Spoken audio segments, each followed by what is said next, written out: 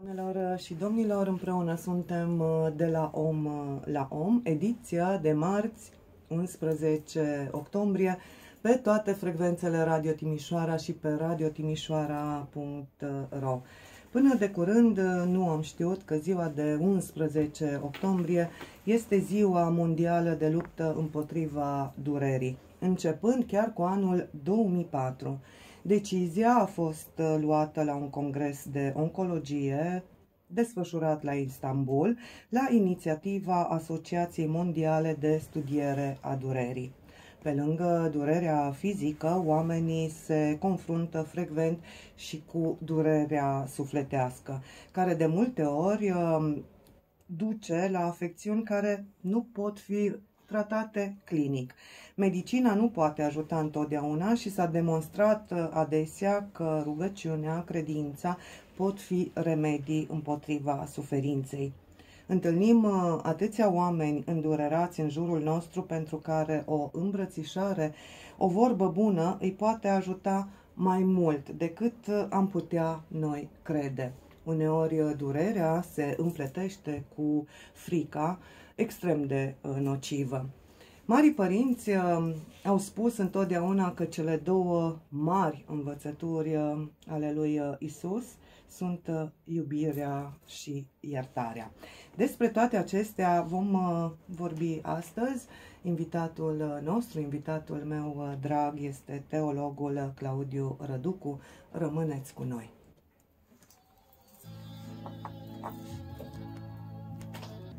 Sfârșitul nu e aici. Și ce să vei în taină, e așa cum nu-ți explici. Ține minte, sfârșitul nu e aici. Împreună suntem, uh, doamnelor uh, și domnilor, de la Om uh, la Om, alături de noi, de mine astăzi, teologul Claudiu Răducu. Bine ai revenit, Claudiu, mulțumesc tare, tare mult. Bine Te-am v-am găsit. provocat. Bine din v-am nou. găsit. Te-am provocat din nou astăzi să dezbatem un uh, subiect, așa cum spuneam încă din uh, prezentare, uh, n-am știut până de curând, astăzi este Ziua Mondială de Luptă împotriva durerii, însă pe lângă durerea fizică există um, acea durere sufletească care de multe ori, uh, eu știu, ne învăluie uh, viața. Da, durerea nu este ceva proiectat de Dumnezeu pentru om. Omul n-a fost menit să sufere. Însă, știți cum, tot rău spre bine spunem noi și atunci când uh, avem situații care ne provoacă durere, le folosim într-un sens pedagogic. Durerea este starea cărbunelui pus la presiune foarte mare care devine diamant. Uh, E frumos cântecul lui Florian Pitiș care spune că ține minte Sfârșitul nu e aici. Este o parte din proces, durerea. Nu trebuia să fie așa și nici nu trebuie să fie așa în funcție de binele pe care îl înglobăm în noi și durerea este învinsă. Dar lumea aceasta, o lume așa cum ne învață toate primordiile civilizației umane, este o lume defazată, în care în momentul de față nu este cum ar trebui să fie. Și de aceea, cum spuneam înainte de emisiune, vorba unui uh, bătrân uh, abordat de un tânăr, ce să fac să scap de greul lumii din jur, de ceea ce mă stresează din jur. E o lume care e ca o avalanșă asupra mea și e greu. E greu să, să, să suport tot ceea ce este în jur. Și bătrânul îi spunea, ia ca țintă binele absolut, încearcă să fii bun și lumea se va îndepărta de tine.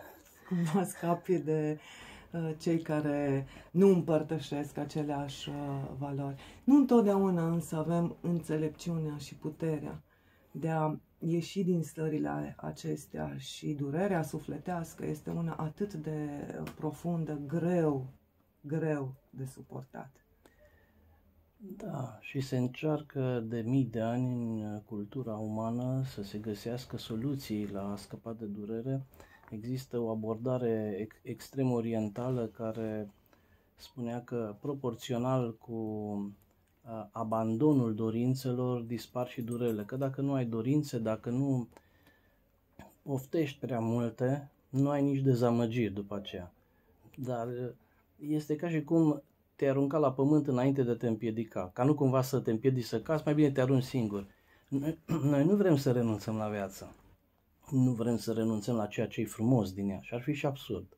Și ceea ce ne bucură și ne face plăcere, nu? Pentru că Exact. fiecare dintre noi Exact. avem bucuriile noastre, dorințele noastre, plăcerile noastre. Am venit aici să ne împlinim, nu să ne ascundem sub o piatră. E, e frumoasă pilda pe care la un moment dat o spune Dumnezeu despre cei cărora le-a dat câte un talent. Unul i-a dat 5 și a mulțit cu 5, altuia 10 i-a mulțit cu 10. Talanții sunt diferiți la fiecare. Unii oameni sunt meniți, uite, cum bună oară ești aici, ca un centru, ca un întâi mișcător, ca un Kairos, cum spuneau grecii antici, în jurul tău aduni oameni, diseminezi idei și toate lucrurile să le faci ca să vină în întâmpinarea oamenilor. Ești uh, uh, cea care ai talentul ăsta. Alții au un talent uh, vindecător asupra trupului, alții au alte talente. Ei, sunt oameni care poate au un singur talent. Fiecare om are cel puțin un singur talent al lui. Și sunt unii care se tem să și-l folosească și-l ascund, ca nu cumva să-l piardă. Și Dumnezeu spune că vine și îi spune aceluia, păi, dacă n-ai reușit să faci ceva cu el, de teamă să nu-l pierzi și eu să nu spun ceva, dă-l încoace că îl dau la ala care știe să-l mulțească. Adică, dacă suntem aici, să nu ne temem să trăim viața, să nu ne temem de durere. Pentru că durerea nu este ceva final, sfârșitul nu e aici, în durere. Sigur că dacă spune, mai spune un lucru foarte interesant Dumnezeu, cel ce va căuta să-și scape sufletul și îl va pierde. Adică e vorba marinarilor de, de pe vremuri care mergeau cu corabia, când e o furtună foarte mare și te atrage în vârtejul furtunii, soluția nu este să încerci să fugi că se, se scufundă corabia, ci să mergi cu viteză prin acea furtună să ieși pe partea cealaltă. Ori în viață de multe ori avem diferite dureri care le putem vorbi de pe margine, le putem comenta. Ne e ușor acum să vorbim și probabil oameni care ne ascultă și au suferit, suferă sau poate vor suferi, vor spune nu știi cum este în suferința respectivă. Este ca și când mă lovesc la picior, îți pare rău ție că mă vezi că mă lovesc la picior, dar nu înțelegi, nu Dar nu simți. trăiesc, nu da. simt. În momentul în care te vei lovi și tu, ne întâlnim privirile și deja ne-am înțeles dincolo de cuvinte. Sunt oameni care sunt în suferințe foarte mari, deci nu vrem să minimalizăm suferințele lor, nici să, să le demonetizăm. Sunt într-adevăr suferințe, sunt dureri mari, sunt dureri, cele mai mari sunt durerile sufletești, neputințele, dar totuși sfârșitul nu e aici, adică nu în acea durere se încheie tot, ar fi prea sec. Ar fi prea sec să se încheie uh, existența noastră la o, la, o asemenea, la o asemenea stare de durere, de suferință. Și atunci trebuie să înțelegem că este o încercare, este o frământare a noastră. Și orice frământare ne face mai buni, ne filtrează, ne, ne macină. Au grecii o, o, un termen în filozofia antică, spun thilipsii, sunt pietrele de moară, care te iau, te frământă și practic lumea din jur, cu tot, toate greutățile inerente ale ei, îți provoacă durere, că este o frământare, o, ma- o măcinare. Și după această măcinare, notabene, nu urmează imediat bine, ca și în cântec, că spune că sfârșitul aici și noi sperăm că imediat după asta va veni soarele. Nu, după frământare urmează cernere. Iar cernere în limba greacă se spune crisis, deci trebuie să trecem prin criză ca să se aleagă cei mai buni din noi. Iată, suferința poate să fie, să zic, un moment din însăși evoluția noastră? Evident, evident. Adică atunci când îți construiești o casă, nu poți să o construiești fără să faci mizerie, fără să fii un șantier. Nimeni nu vrea să stea într-un șantier, adică numai cei care au lucrat într-un șantier sau care și-au construit o casă știu ce mizerie înseamnă când faci o casă. Și atunci când clădești o casă lăuntrică, o casă a ființei tale, tu, tu devii din, din copil un adult, dintr-un adult crud devii un adult experimentat, trebuie să treci prin această mizerie a șantierului lăuntric. Și asta inerent aduce suferință și durere. Și evident că suferințele, adică nepotrivirile din lăuntru nostru, cu realitatea absolută care generează tot ceea ce vedem. Adică există o sursă a vieții, noi o numim Dumnezeu și știm că este o ființă vie, dar nu impunem tuturor să aibă viziunea asta, dar știu toți că există ceva, cineva, undeva acolo. În momentul în care în lăuntrul tău nu, nu ești congruent cu binele, cu adevărul, cu frumosul, din diferite motive, poate trecătoare, anumite interese, uh, încer- încerci să nu bagi în seamă reperul și hai că merge și așa. În momentul în care nu ne raportăm bine către adevăr, în momentul respectiv uh, apar disfuncțiuni la, la nivelul minții noastre. Ceva din lăuntru nostru, chiar dacă noi ne mințim că este bine, nu este bine, și acel conflict generează conflicte uh, la nivelul energiilor trupului care la rândul lor generează boli.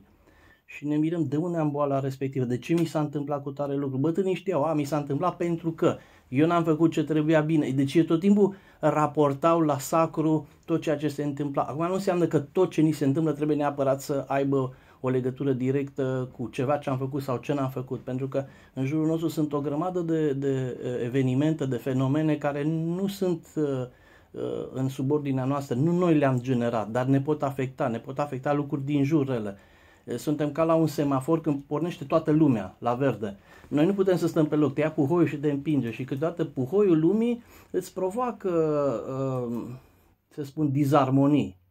Adică te împinge către ceva ce n-ai vrea să fii sunt puțini oamenii care au puterea și posibilitatea să se rupă din puhoiul lumii și să spună eu mă, tra- mă retrag. De așa sunt în general puznicii. Nu putem să fim toți puznici.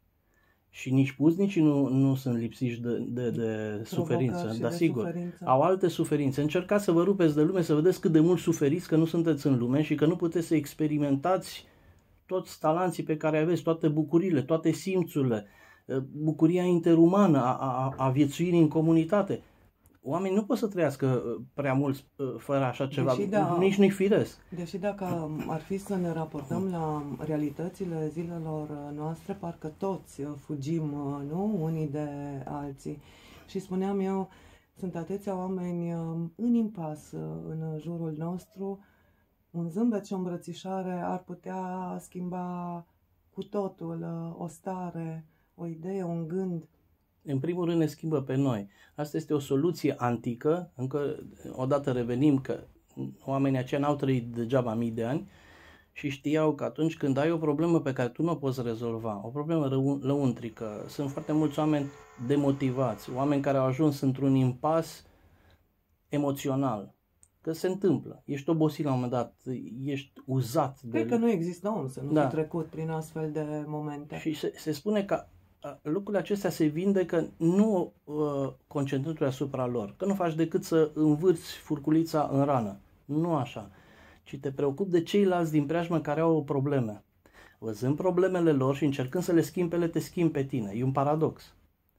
Și dacă vrei să schimbi lumea din jur, atunci te schimbi pe tine. Și schimbându-te tu, se schimbă și lumea din jur, pentru că ți-ai schimbat percepția. Și când îți schimbi percepția și lumea se raportează altcumva față de tine.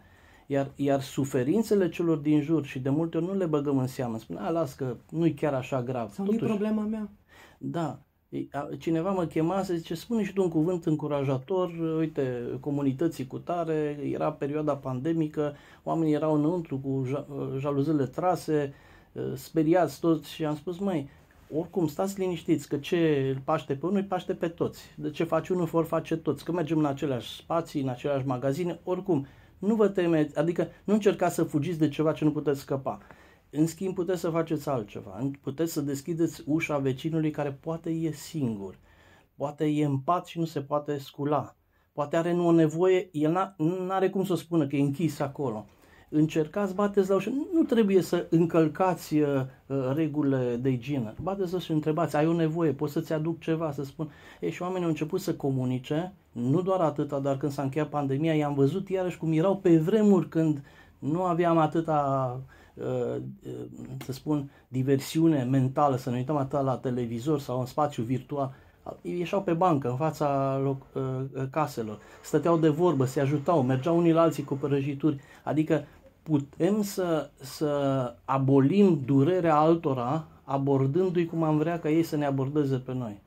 Și făcând gestul ăsta, există o reciprocitate a Universului și el îți întoarce serviciul și ți-l întoarce însutit și nici nu știi de unde. Ne ducem unii altora greutatea. Asta este de fapt soluția. Spuneam că Marii Părinți adesea ne-au îndemnat uh, să credem că cele două mari învățături ale lui uh, Isus sunt uh, iubirea și iertarea. Și m-am întrebat adesea dacă putem ierta fără să iubim. În primul rând, zic că ar fi bine să fim sinceri în ceea ce se întâmplă să ne, să ne scanăm. Noi avem tot timpul tendința să ne justificăm toate prostiile pe care le facem. Dar dacă ne-am uitat cu atenție la noi și ne-am pune în antiteză cu ceilalți care greșesc, ne-am dat seama că și noi greșim. Deci dacă, dacă nu suntem ingrați, ne dăm seama că măcar o dată, măcar într-un fel am făcut exact cum ne fac cei care ne supără pe noi.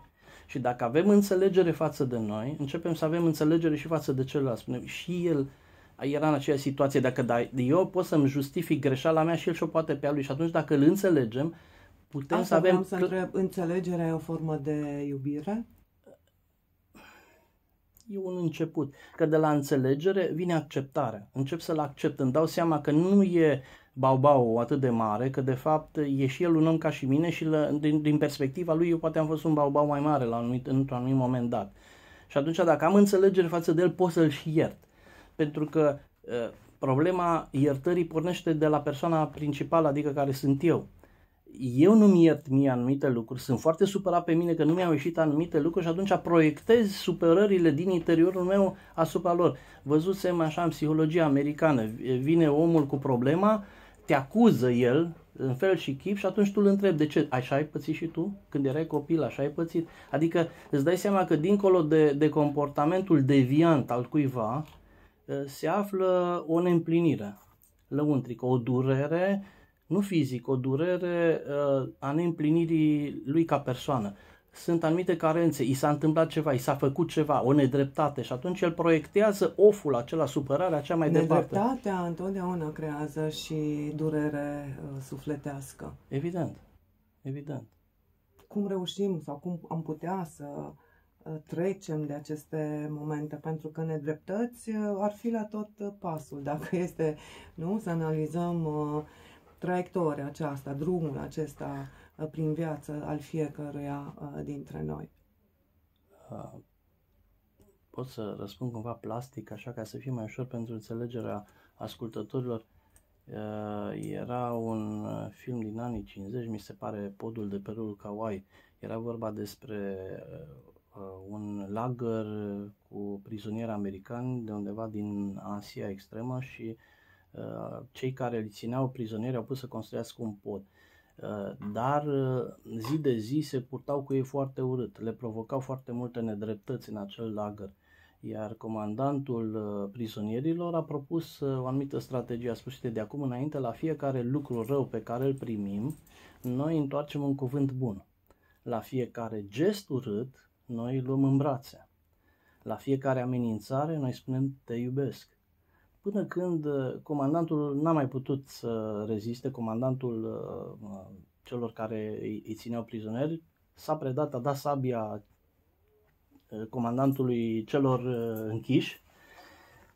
Sau practic i-au eliberat indirect pe, pe prizonieri considerându-i egale. A spus, nu, nu putem să vă mai asuprim. Adică e, e prea Dacă... multă iubire care o dați voi către noi și noi nu mai avem argument împotriva voastră. Iată, am să folosesc acest termen, uh, eliberare, și am să-i provoc și pe ascultătorii noștri, dacă doresc uh, să intervină, să Bine. răspundă provocării uh, mele, cum ne eliberăm de suferința uh, sufletească.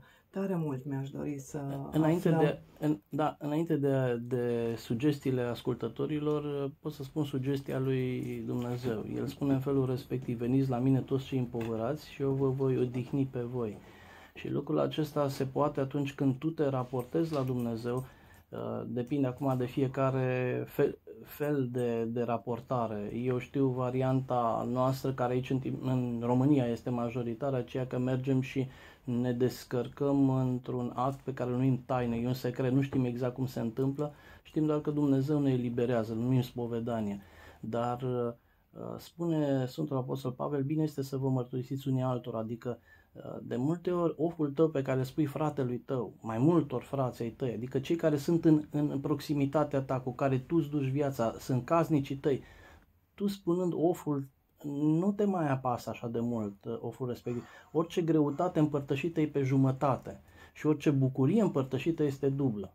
Deci cumva să, să învățăm să devenim comunitari și să nu ne ascundem uh, trăirile noastre, nici să aruncăm cu mizerie peste ceilalți, dar vreau să spun să încercăm să împărtășim oful nostru, să nu ne fie frică. Oamenii consideră că sensibilitatea este slăbiciune, dar nu este așa. Sensibilitatea presupune să ai uh, o disponibilitate asupra unui plan care te-ar putea elibera. Și o forță Da, interioară nemaipomenită Da. să-ți arăți, nu? Sensibilitatea. Trebuie să fii extrem de curajos și de uh, puternic. Așadar, dacă ascultătorii noștri doresc uh, să completeze, să intervină, iată, provocarea de astăzi uh, sună uh, așa, cum ne eliberăm uh, de suferințele uh, sufletești, cum ați reușit dumneavoastră, dragi uh, ascultători, uh, 0256493545 numărul uh, emisiei. Uh, Așteptăm mesaje scrise prin SMS, prin aplicația WhatsApp 0725737373. Un subiect delicat astăzi, uh, pornit, uh, iată, dintr-o descoperire pe care am făcut-o, 11 octombrie, Ziua Mondială de Luptă împotriva uh, durerii, durerea fizică, dar și uh, durerea sufletească. Invitatul meu, uh, teologul uh, Claudiu Răducu. Am primit uh, și câteva mesaje, Claudiu, Da. înainte de a lansa provocarea, felicitări pentru emisiune. Rog un sfat de la distinsul invitat. Trăiesc ca în filmul toate, mi se întâmplă numai mie de câțiva ani buni, parcă nu se mai sfârșesc. Da, recunosc că am păcatele mele, dar am depus eforturi pentru a supraviețui și când sunt la greu, porțile devin plumb. Nimeni nu-ți deschide ușa sau îți întinde o mână. Doamna Maria. Era o întâmplare, dacă vă aduceți aminte, când uh, micul Isus se născuse și Irod, uh, voind să-l elimine cumva de la tron, gândind că de fapt Isus a venit pentru tronul lui, nu înțelegea miza, că de fapt el este împăratul întregului cosmos și a venit să facă ordine. Uh, Și atunci a dispus ca toți copiii până la vârsta 2 ani să fie omorâți și se spune undeva în, uh, în, într-un pasaj biblic că Rahela era o femeie care, a care au murit copiii, au fost omorâți, zice, nu voia să se mângâie. Deci sunt uh, persoane care au o suferință atât de mare care uh, nu vor să o descarce. Și asta e un, uh, un proces uh, în subconștient, nu ne dăm seama. Inconștientul nostru, de fapt, nu vrea să scape de acea suferință. De ce? Pentru că sunt unele suferințe care ne macină, cum spuneam, și obțin din noi ceea ce este mai fin. Și până când nu se obține acea făină din care Dumnezeu să facă un aluat nou și bun, nu se oprește acea, acel proces. Avem un telefon. Da. Bună ziua!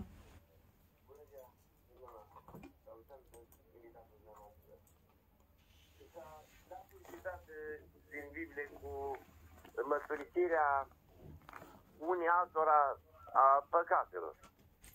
Deci nu neapărat că trebuie să mergi la duhovnic, să la un preot. Unii altora. Poți să spui... Așa spunea și Claudiu Răducu. Important e să avem oameni în jurul nostru cu care să împărtășim ce este în sufletul nostru. Da, dar am înțeles că totuși teoria este că să te duci la preot și atunci el să- Nu, s-a- ați înțeles greșit. Tocmai puncta uh, Claudiu Răducu că nu e nevoie să mergi neapărat să te spovedești, ci să găsești în jurul tău oameni cu care să împărtășești. Și, uh, și spuneam, spuneam de diferența cultică, adică suntem unii care așa hotărâm să mergem pentru că aceasta e calea noastră asumată și alții aleg o altă cale asumată. Ce ne facem cu cei care nu sunt creștini? Ei oare nu se de, nu, nu își ușurează sufletul? Există și acolo tot felul de, de variante, de soluții, adică îi invitam ca fiecare să facă ce știe mai bine conform cu propriul lui crez, cu propria lui variantă. Și conștiință. Da, nu e nimeni obligat să facă într-un fel sau în altul. E, și de aceea spune și Hristos, cine vrea, mi urmează mie. Mult, Motivul, sănătate multă, mulțumim pentru telefon. Domnul Nicolae uh, Nicolov ne scrie așa. Mulțumesc mult pentru emisiune care ajută oamenii să treacă ușor peste greutățile uh, vieții. Domnul să ne lumineze, ne scrie uh, domnul uh, Nicolae. Cum ne eliberăm de uh, suferințele uh, sufletești? Uh, ar fi întrebarea pe care v-am provocat, uh, la care v-am provocat să răspundeți, uh, dragi uh, ascultători. Astăzi e un subiect uh, delicat, dar de aceea suntem împreună, suntem o puternică comunitate și împărtășim, iată, unii altora uh, idei, uh, momente și, să zic așa, un pas uh, înainte. Spunea cineva, nu doar cineva anume, adică sunt anumite doctrine spirituale în lumea noastră care sunt vechi de mii de ani, care spun așa că uh, dorințele creează cu sine și o uh, cohortă întreagă de sentimente de nemulțumire. De ce? Pentru că noi din comparație începem să suferim. Dacă nu m-aș compara cu cel de lângă care are o mașină de nu știu ce fel sau o casă de nu știu ce fel, probabil că niciodată nu mi-aș fi dorit mașina aceea și eram mulțumit cu casa mea. Dar pentru că noi eh, tot timpul ne ridicăm ștacheta, suntem într-o continuă efervescență și uh, nu putem să ținem ritmul pentru că suntem diferiți. Adică uh, eu am o altă înclinație decât are poate vecinul meu care se împlinește foarte mult având proprietate materială. Pe mine mă interesează uh, proprietatea lăuntrică, proprietatea sufletească. Și atunci implicit formarea mea este de așa natură încât eu nu sunt un afacerist ca să-mi fac casa vecinului, dar încep să sufer că nu am casa vecinului. Și vedeți, suferințe, sunt foarte multe suferințe, foarte multe dureri care nu vin de fapt pe o cale firească, vin, vin din, din, din lucruri artificiale. Și atunci soluția, soluția ar fi să să fim dezamăgiți. Adică foarte mulți dintre noi intrăm în amăgire, că ar trebui Și- să fim într-un fel. Dezamăgirea doare, dar gândiți-vă ce înseamnă etimologic. Dezamăgire, adică ieșire din amăgire. Nu poți să ieși din amăgire fără să fii uh, înșelat de realitate. Adică realitatea ți arată altceva decât te așteptai tu și atunci te doare. Dar e un lucru bun. Și vorbeai de dezamăgire. Există și frica aceasta de a nu fi dezamăgit. Da. Această frică împletită cu durere, nu? Uh, Iată, ne poate dezechilibra extrem uh, de tare. În Banat există și o altă frică f- specifică Banatului, frica de a nu dezamăgi pe celălalt. Ce zice altul despre mine? Păi ce eu sunt nimandrum? Eu trebuie să fac, eu trebuie să arat, eu trebuie să... Și atunci dacă lumea își modifică tot timpul standardele și vedem că e într-o continuă modificare a standardelor, eu nu pot să țin ritmul. Mă gândesc că bunicii mei erau ca și bunicii lor, bunicii lor erau ca bunicii lor și tot așa, adică lumea aceasta nu s-a schimbat de mii de ani și dintr-o dată ritmul de schimbare este de la an la an. Nu poți să trăiești în, în tihnă, în liniște, dacă tot timpul îți schimbi standardele. Sigur că există și o presiune care vine din partea sistemului, că e conștient, inconștient, că e voit, că e nevoit, dar vine, ți se uh, impun anumite standarde. De mâine toată lumea trebuie să aibă termopane de aer, de mâine toată lumea trebuie să aibă repartitoare pe calorifer. De mâine... Și atunci ești stresat, tot timpul stai într-un stres continuu și stresul acesta continuu creează o stare tensionată care se revede în toate ale noastre și implicit generează boli fizice. Da, care nu pot întotdeauna fi uh, vindecate. Da? Această suferință sufletească ne dezechilibrează organismul și de multe ori nu se găsește uh, leac uh, uh, pentru aceste afecțiuni care apar. Spuneam uh, de iubire și de uh, iertare. Până la urmă este o alegere a noastră dacă iertăm, dacă iubim. Păi, Uneori nu putem ierta. dar nici nu putem să plecăm cu conflictele după noi. Uh, Le cărăm prea mult, cărăm, cărăm bagaje care nu sunt ale noastre. Nu avem noi altceva mai bun de făcut decât să cărăm Acum aceste depinde bagaje. de situație. Da, depinde și de situație, adevărat. Dar dacă uh, nu pot să schimb o situație, ce sens are să mă mai încarc cu ea? Zicea frumos la un moment dat uh, George Enescu unui ucenic de al său care cerea o scrisoare de recomandare pentru marele Yehudi Menuhin la Paris. și întreba George Enescu pentru ce ai nevoie de, de scrisoarea aceasta? Păi ca să vadă că am valoare. Păi, măi, copile, ce dacă tu ai valoare, el va vedea că ai valoare și fără scrisoare. Iar dacă nu ai valoare, degeaba îți dau scrisoarea. Adică așa este și cu, cu suferința. Uh, dacă ai un lucru care nu se poate împlini, degeaba suferi, pentru că nu are sens să suferi. Iar dacă oricum acel lucru se poate schimba, iar nu are sens să suferi. Adică uh, nu are sens să ne încărcăm cu niște suferințe inutile. Sunt suferințe legate de boli. Aici sunt deja uh, mai mulți specialiști în lume care de 100 de ani încoace au găsit uh, niște corelații între, între neîmplinirile noastre lăuntrice și bolile fizice efective. Uh, sunt mai mulți. Uh, chiar de curând uh, venise pe la noi prin țară un german care făcuse cancer într-o anumită perioadă, el fiind medic-oncolog, culmea. Deci el era un medic care se ocupa de canceroși. Și el a făcut cancer, a făcut cancer după ce a murit soția, copiii, a avut necaz mult, a pus la suflet, a suferit întâi uh, interior, lăuntric și apoi a făcut și cancer. Uh, uitându-se în statisticile lui ca medic în clinica pe care o conducea, a văzut că același tip de cancer pe care îl are el, aveau alții care aveau același tip de suferință și a început să facă corelații între tipurile de suferință și tipurile de afecțiuni trupești. Și și-a dat seama că vindecând uh, afecțiunea uh, sufletească pe care o are, se vindecă și cancerul. Și a aplicat la el și s-a împlinit. Atunci a aplicat la alții, a văzut că au scăpat și aceia de cancer. Deci, într-un fel, putem să facem câte ceva pentru, pentru uh, multe dintre bolile pe care le avem, dar nu ne dăm seama de acest lucru. Până nu ne dăm seama, o luăm ca pe o terapie, o luăm ca pe o, uh, să zicem, lecție pedagogică. Sigur că e ușor de spus din afară, dar fiecare dintre noi are o, o boală, are o problemă, are un ghimpe în coastă, cum spunea Apostolul Pavel. El, de exemplu, când trecea cu, cu umbra peste oamenii e, bolnavi, se vindecau sau, sau morții înviau. Vă dați seama ce putere avea în ea și totuși el avea o boală incurabilă. Și spunea Dumnezeu mi-a lăsat-o în, în, în trup, mi-a lăsat-o un ghimpe în trup ca să nu mă mândresc.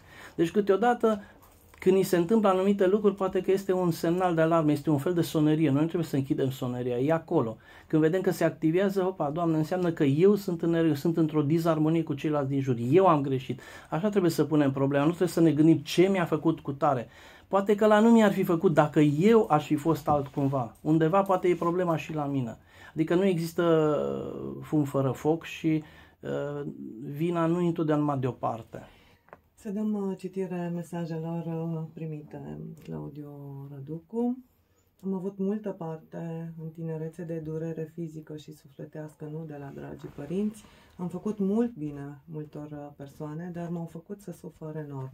Au aruncat cuvinte grele asupra mea, au cerut iertare, au primit-o. Nu mai vorbesc, nu mai pot vorbi cu, cu ei, ceva uh, mă oprește. Până la urmă trebuie să găsim, nu? Nimeni nu ne obligă să vorbim cu cei care ne-au făcut uh, să suferim, dar în jurul nostru sunt atâția și atâția alți uh, oameni pe care trebuie să îi descoperim sau nu trebuie. E un cuvânt uh, nepotrivit dar, pe care l-am uh, dar spus. Nici nu,